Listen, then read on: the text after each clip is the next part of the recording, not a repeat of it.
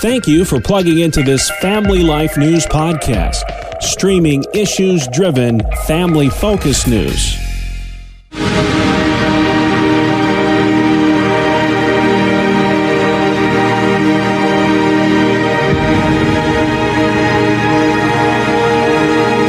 Welcome to another edition of Hometown Heroes on Family Life. I'm your host, Bill Price. Our guest this week, Shawna Hakes from Williamsport, Pennsylvania. After losing her husband to lung cancer four years ago, she now helps other women cope with life after death. A Widow's Mite is an, mostly an online ministry.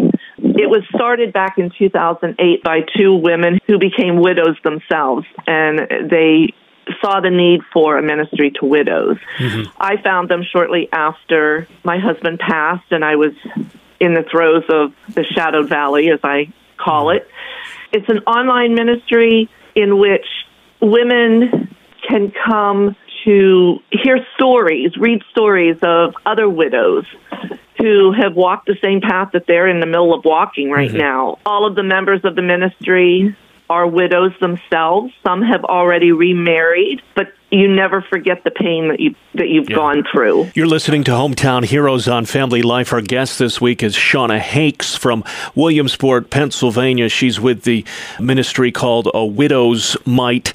And um, if, if you could, Shawna, share with us the biggest thing that your grief has taught you and that you've been able to share with other women who are going through the same trials as you are. I would say the biggest thing that I have learned is that I am not alone. That is the one thing that widowhood will teach will try to show you is that you're all alone and you do. You feel very much alone. And your friends and family as much as they love you and want to support you and can even do it well at times there's times when they either just can't be there. It's the middle of the night. You're crying and you don't even know have words to even say what what's in your heart. What I found was that my God was always there. I leaned on him in ways that I had never leaned on him before, and I leaned on him pretty hard at times.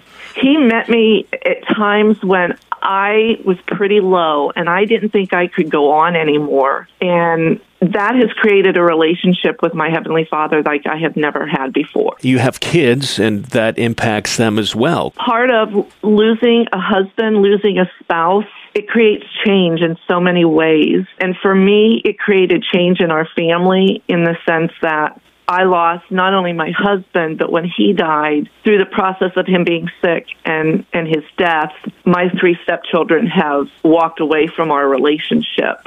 We call them secondary losses when relationships change, and there's a lot of factors to why those relationships change. Uh, have you thought about remarrying, or is that not even in your thoughts right now? Of course, when my husband first died, it was like, no, this is not this is not even possible. Mm-hmm. He was the love of my life. Four years out from it now, I'm getting a little closer to maybe. You're helping a lot of people online with this uh, ministry called A Widow's Mite. Uh, we have a lot of listeners, uh, Shawna, who are going through similar situations, um, whether it be a, a, man or a woman who's lost a spouse.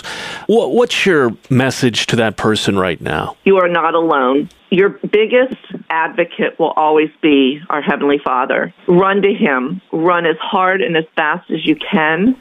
Read His Word. Be in His Word. Be in communication with Him through prayer. The other message is it's okay to grieve. It's okay to cry. And it's, it's even okay to be angry at God. Just don't stay there. And don't let anybody tell you when it's time to stop grieving because we all grieve in different ways.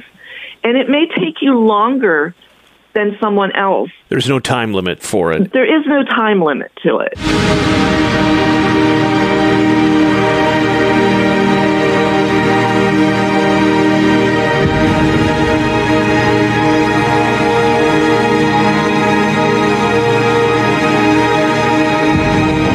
Shawna Hakes from Williamsport, Pennsylvania, this week's Hometown Hero. Join us next week as we search for your home, your town, your hero. It's Hometown Heroes on Family Life.